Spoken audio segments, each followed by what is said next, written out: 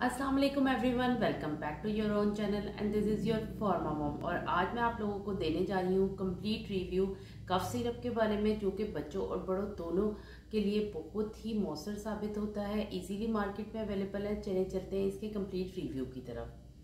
आज मैं जिस सिरप की बात कर रही हूँ, वो रॉन्डेक सिरप है। रॉन्डेक सिरप बेहतरीन फार्मूला है कफ के लिए और उन बच्चों के लिए बहुत ही ज़्यादा फ़ायदेमंद साबित होता है, जिनको किसी ना किसी किस्म की एलर्जीज का प्रॉब्लम होता है। तो आप ये बच्चों में इस्तेमाल कर सकते हैं। इसकी जो कीमत है, वो है वन ट्वेंटी सिक्स रुपीज़ ये आप इसकी मार्केट प्राइस इधर मेंशन हुई हुई है। वन ट्वेंटी सिक्स रुपीज़ इसकी मार्केट प्राइस है। इसके अलावा ये बच्चों और बड़ों दोनों में डिस्पेंस किया जा सकता है।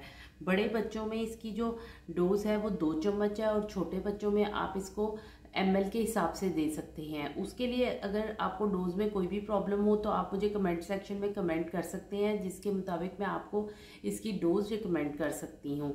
तो ये ड्रॉन्टेक जो है, ये बहुत ही सेफ़ सिरप है। इसके अलावा इसके बहुत ज़्यादा फ़ायदे हैं। ये कफ़ को बहुत जल्दी कंट्रोल करता है। आप जैसे जानते हैं कि मार्केट में कफ़ के बहुत ज़्यादा सिरप्स की वैरायटी मौजूद है, लेकिन ये उन सब में बेस्ट है। एसी फ़ाइल सिरप एक ज़माने में बहुत अच्छा सिरप था, लेकिन अब वो इतना मौसर साबित नहीं होता, हो सकता और इसमें थोड़ी सी डिजीनेस होती है तो इसकी ओवरडोज ओवरडोज आपने बिल्कुल भी नहीं करनी।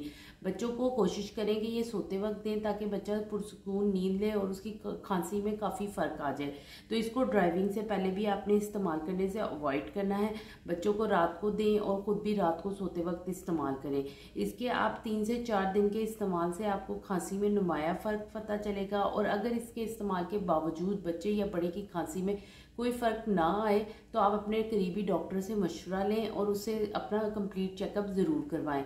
उम्मीद करती हूँ कि मेरी ये छोटी सी वीडियो आपकी हेल्प कर सकेगी। लाइक करें सब्सक्राइब करें और दुआ में ज़रूर याद रखें। शुक्रिया।